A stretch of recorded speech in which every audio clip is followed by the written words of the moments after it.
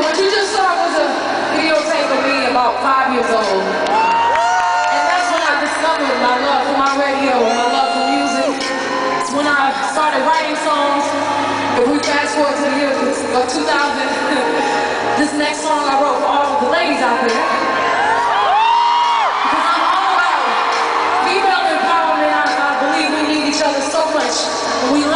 each other so much. We need to support each other, This is why all of the musicians on the stage are women.